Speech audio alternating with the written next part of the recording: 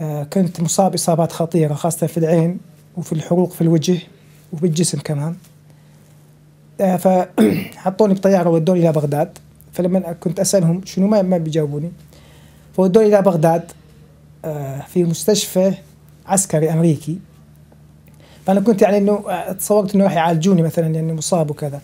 تفاجأت إنه وصلت المستشفى إنه حطوني على سرير القوات الأمريكية وربطوا رجلي بأسلاك جلد هيك يعني ما شلون نقول أحزمة جلد برجلين حتى ما أقدر أتحرك.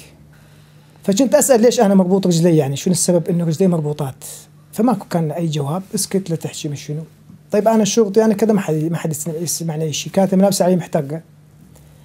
فظليت فترة بالمستشفى هذا وكان كثير مصابين أيضا مربطين يعني. في كان جنبي مصاب ايده ورجله مقطوعه أيضا رابطه رجله بالسرير نفس الشيء استمرت هاي الحالة بشهر 11 طبعا الاصابه كانت.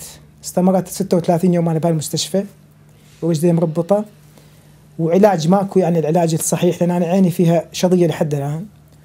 استمرت الحالة. تفاجأت إنه ورا فترة قبل نهاية الص...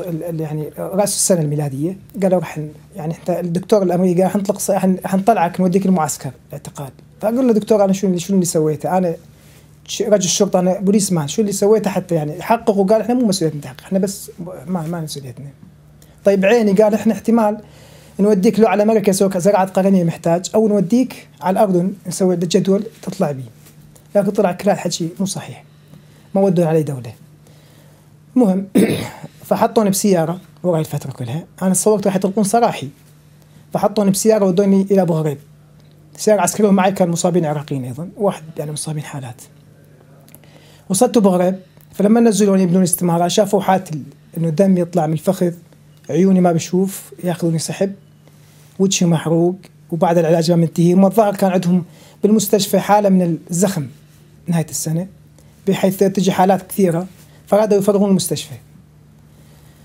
فالبغريب هناك بالمعتقل لما شافوا حالتي قال إحنا ما نستقبل هذا. أنت شنو؟ قلت ما الشرطي كذا وبدا يعرف القضية. شنو؟ قال أنا المهم فالامريكان ما أدري شنو حكوا قال له أنت شو تاكد شنو تاكد شرطي؟ شنو رجل رجل شرطه المهم استمريت ببوريب كان الدنيا مطر طبعا وأنا ما لابس ما لابس ما شو اسمه. بقيت من الصبح لحد العصر ببهريب يعني بس بالسيارة ما نزلوني. تالي قالوا اريد هذا. فرجعوني من المستشفى نفسها فالمستشفى قالت انت جت لي مترجمة عراقية. قالت أنت يعني ما شو نسوي؟ حتى حق طريق يعني طلقوا طلقوا. قلت طيب هو ليش وقفوني أصلا؟ ليش أنا؟ قالت مشتبه. قلت يعني مشتبه واحد سنة ونص. عفوا 36 يوم مشتبه. وهاي الحالات اللي صارت بي بسبب هذا الاشتباه.